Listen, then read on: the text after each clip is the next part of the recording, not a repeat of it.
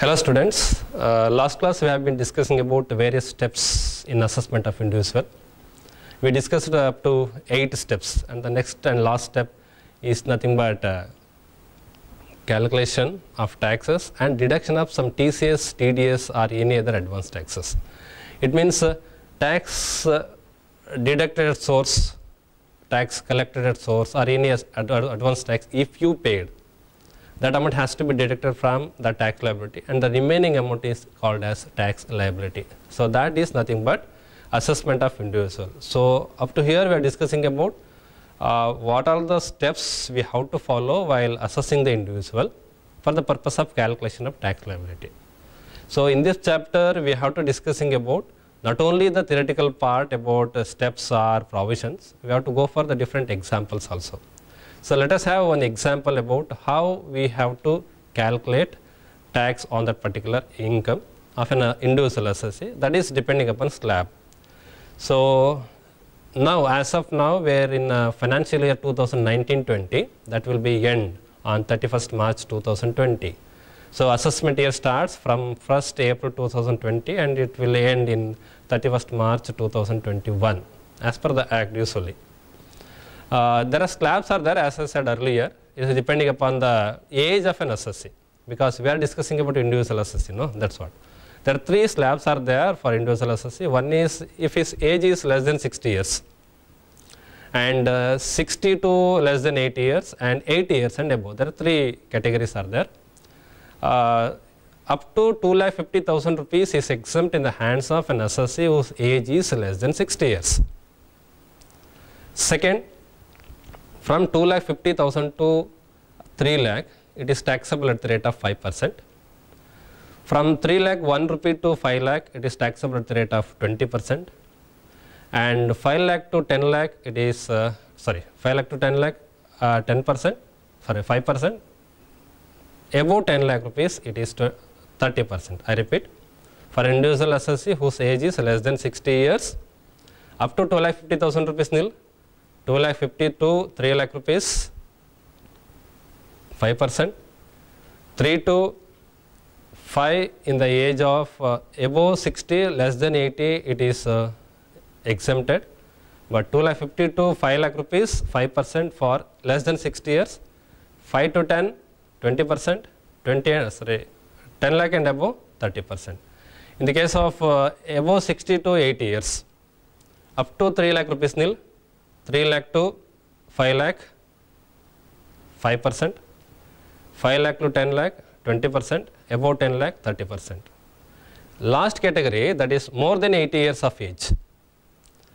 They are enjoying up to 5 lakh rupees of income it is exempted. Then 5 lakh to 10 lakh 20 percent directly they don't have any 5 percent slab 5 lakh to 10 lakh 20 percent 10 lakh and above 30 percent. This is the slab for three kinds of category like uh, less than 60 60 to 80 80 and above. That is for individual assessee. Uh, let us have one example. In this example the particular income of mr louis his age is less than 40 years or 40 years of course. For the previous year ended 31st march 2020 as i said earlier the previous year closed on 31st march 2020 the information is like this. He is having salary income of rupees 3 lakh 20 house property of rupees 50000 short term capital gain of rupees 70000 long term capital gain in respect of land and building is 20000 uh, there is a loss on long term capital asset that is sale of jewelry that is 17000 that is long term capital loss. And he is having some uh, investments like uh, lic 10000 rupees which is taken on his own life and he purchased NSC worth rupees 15,000 and he donated rupees 10,000 to Prime Minister National Relief Fund. Now the question is we have to compute the tax liability for the assessment year 2020-21.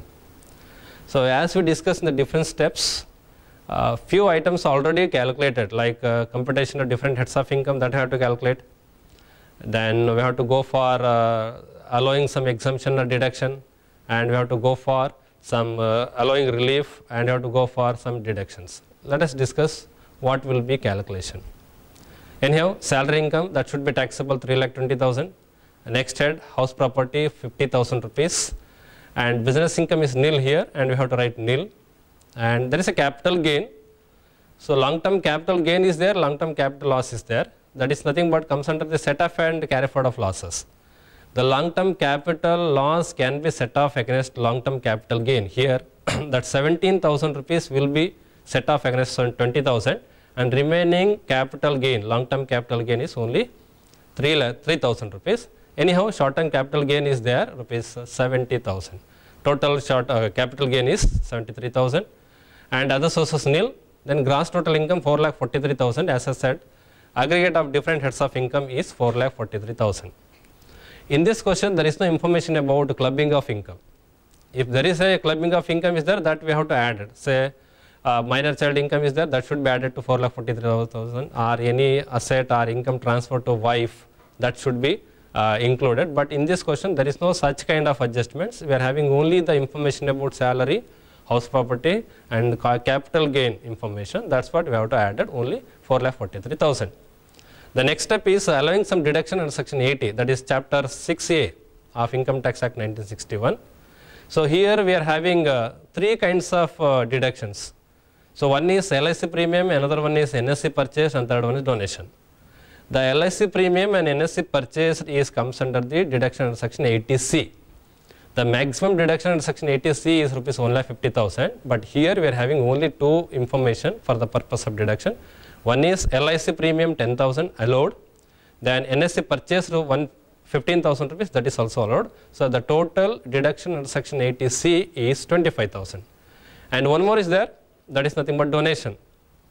We already discussed in the previous classes about different kinds of donations. So, we have some category 100 percent deduction, 50 percent deduction, 100 percent qualified, 50 percent qualified like this. So, any donation paid to Prime Minister National Relief Fund, it is deductible 100 percent, that is for 10,000.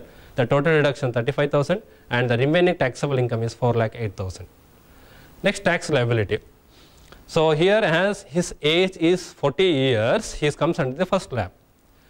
So, some special incomes are there, say for example, long term capital gain is there, no, it is taxable at the rate of 20 percent. First, we have to take that one. So, 3000 rupees has to be taxable 20 percent, that is 600 then balance 4 lakh 5000 out of 4 lakh 8000 remaining 2 lakh 50000 is nil anyhow. Then remaining second slab 1 lakh 55000 rupees. That should be taxable at the rate of 5 percent. That is amount 7750 so here 8350 is the total tax liability. His income is less than 5 lakh and second one is he is eligible to claim relief under section 87a maximum 12500 or rupees 8350 actual whichever is less. So, it is actually less than 12500. So, and hence entire 8350 rupees will be deductible as rebate under section 87A. If any amount is there then only we have to add a health and education cess but here the entire amount is uh, deductible that is what his tax liability is nil. Students this class we are discussing about the tax liability of an individual on the basis of uh, tax, uh, tax slab or any other provisions. Uh, this is about assessment of individuals. In the next class, we will be discussing about uh, in different situation how the tax will be leviable on individual assessee. Thank you.